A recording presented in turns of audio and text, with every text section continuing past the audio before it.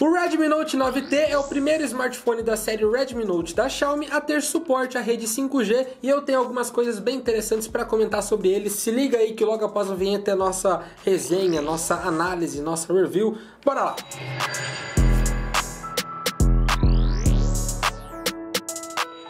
Antes de tudo, pessoal, quero falar que caso você queira um Redmi Note 9T, tem links de compra aqui na descrição do vídeo, com o melhor preço que a gente encontrar, com a melhor oferta. Então se liga aí na primeira linha da descrição para já adquirir o seu, caso você goste, caso você concorde aqui com as nossas opiniões. E continuando, vamos falar logo aqui sobre o design. Como vocês podem ver aqui ó, na parte traseira, a gente tem um design bem interessante, bem bonito, segue um degradê, né? Um acabamento traseiro em plástico, né? Conta também com esse módulo circular aqui, ó, para guardar as suas três câmeras câmera junto do flash de LED. Novamente o design reforça aqui a série Redmi, que é da Xiaomi, junto aqui ó, do suporte à conexão de rede 5G. Parte frontal, o que a gente vai ter? Praticamente a mesma coisa que a gente vê na série Redmi Note 9 num todo. Então a gente vai ver aqui praticamente o mesmo aproveitamento de tela, quase o mesmo tamanho.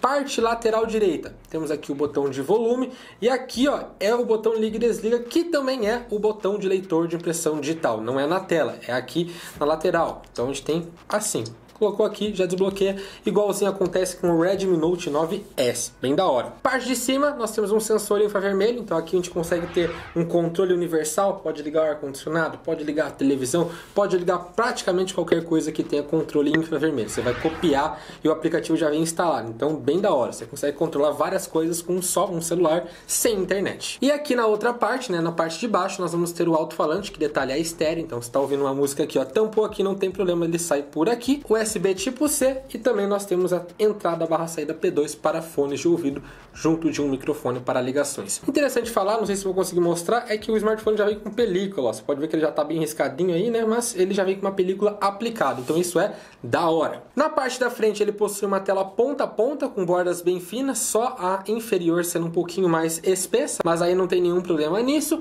e um furo para abrigar a sua câmera frontal aqui ó, no canto superior esquerdo, em cima do horário. Como eu falei, o Note 9T tem a mesma tela do Redmi Note 9 comum, ou seja, nós temos aqui uma tela muito bacana, IPS LCD de 6,53 polegadas, com resolução Full HD Plus e taxa de atualização padrão de 60 Hz. Tem gente que prefere 90, tem gente que prefere 120, claro, né?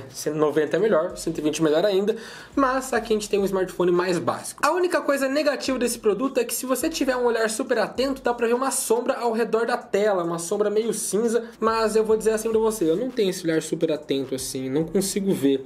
Fora na câmera aqui, ó, eu consigo ver algo aqui na câmera, mas é bem, bem de leve. Eu gosto da tela, tela Full HD Plus, bacana, top, tela bem grande, consideravelmente boa. Gostei, cara, não tenho do que reclamar. Claro que seria melhor se fosse 90 Hz, ou melhor ainda 120, mas como é um smartphone mais básico, um smartphone um pouco mais barato, Tá, tá justo 60 Hz. Pô, os iPhones, né? 12 Pro, 12 Pro Max, inclusive, tem 60 Hz também. Vai reclamar do quê, velho? Então esse aqui é o Redmi Note 9T, aparelho de plástico, bem bacana. Foi esse o tempo, inclusive, na minha opinião, que os intermediários tinham acabamento premium. Hoje em dia é praticamente tudo de plástico, mas esse plástico aqui eu achei bem bonito. Eu acho até que dá uma como é que eu posso dizer, uma impressão de que eles duram mais, né? Porque se cair aqui ó, na mesa, não tem problema, porque é de plástico. Tudo aqui nesse aparelho, na minha opinião, tá dentro do normal, considerando, é claro, a faixa de preço e categoria do Redmi Note 9T.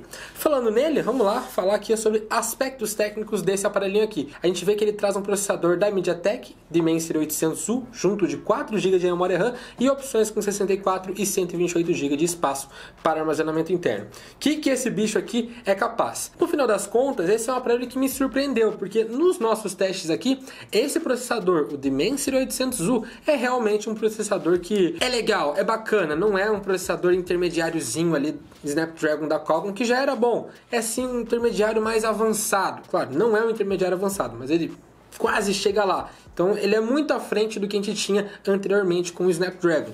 O aparelho aqui ele não esquentou em nenhum momento, entregou uma performance relativamente muito boa, muito dentro do que eu já esperava. No geral, ele vai lidar com jogos bem bacanas, jogos leves e intermediários numa boa, aplicativos do dia a dia nem se fala também, WhatsApp, Instagram não trava, os 4 GB de RAM são suficientes. Se fosse 6, daria um pouquinho mais de folga para gerenciar mais aplicativos ao mesmo tempo. E é isso, cara. Claro que dependendo do jogo, claro que dependendo do game, talvez seja melhor reduzir a qualidade qualidade gráfica para ganhar um pouco maior de fluidez, um pouco mais performance, mas é aquela parada, cara. Depende muito do jogo. Você tem um celular intermediário, por que, que você vai querer jogar no melhor gráfico aquele melhor jogo? Não faz sentido. Você tem que saber onde você tá, né, velho? É aquilo lá. Querer não é poder. Então saiba os limites do seu celular. Saiba os limites de um smartphone intermediário. Um smartphone de mil reais não vai ser a mesma coisa de um smartphone de 10 mil reais. Olha esse smartphone aqui. Esse smartphone custa 12 mil, velho. Claro, né? Ele também é dobrável, tal, é outra categoria, etc. Mas, pô, você tem que saber onde você está, você tem que saber onde seu smartphone se encaixa. E aqui nos nossos testes ele se saiu muito bem. Então é um processador bacana que vai rodar seus jogos, vai rodar seus aplicativos e não tem muito do que reclamar, até porque roda aqui ó, a interface da Xiaomi, a MIUI sobre o Android 10, bem legal. Então aqui a gente testou Call of Duty, PUBG, entre outras coisas legais aqui. E vale falar novamente que esse smartphone já tem a vantagem de ter suporte à conexão de rede 5G que outros modelos da família Redmi Note 9 não tem. Então, Note 9 comum não tem, Note 9 Pro não tem, Note 9S não tem. Então, considere sim a compra do Redmi Note 9T. E por que, que eu falo isso? Porque esse já é um smartphone para o futuro. O 5G, cada dia que passa, vai ficando mais presente na vida das pessoas. Então você compra um smartphone agora normal, digamos assim. Imagina para você vender daqui um ano e meio, dois anos, quando o 5G já estiver consolidado. Quem vai querer comprar um smartphone que não tem 5G? Ninguém. Então às vezes vai ficar com peso de papel.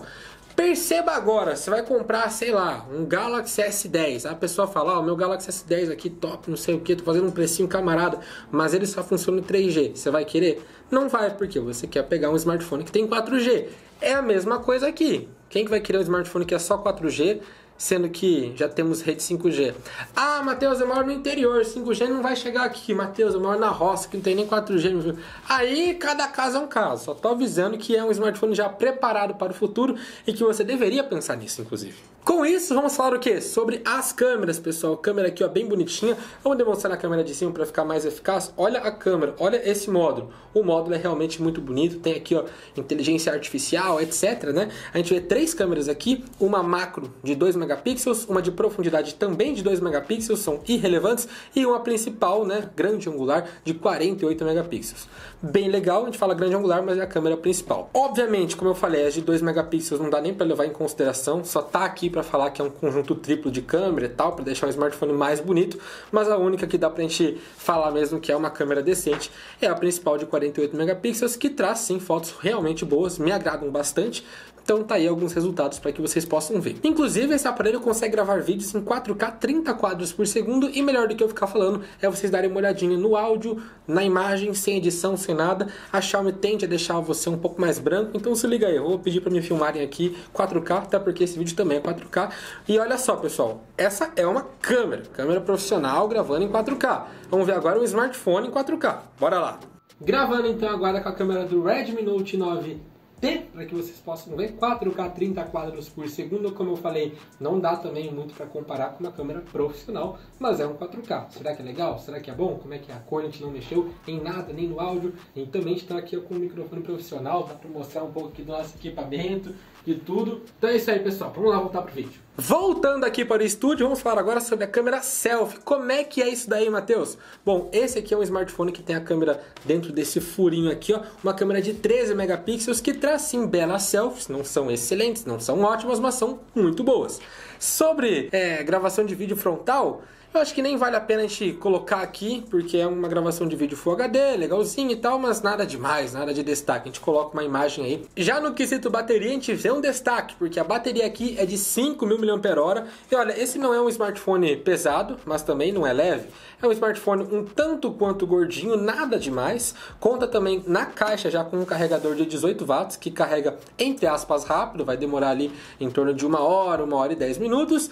E essa bateria de 5.000 mAh é suficiente para um dia e meio e até dois dias de uso mediano deve agradar sim a maior parte das pessoas, com toda certeza, até num dia que você usa muito o celular vai durar um dia, então de boa, tranquilo. E é um smartphone que eu gostei, é um smartphone que vai vir aí, que já está vindo, na verdade, com um preço bem interessante, bem bacana, que você pode encontrar aqui no Brasil em até 10 vezes sem juros na Amazon, loja que a gente indica para vocês, e o link está na descrição do vídeo. Uma coisa mais, pessoal, a gente vai trazer outros comparativos, até mesmo com a série comum, Redmi Note 9T versus Redmi Note 9.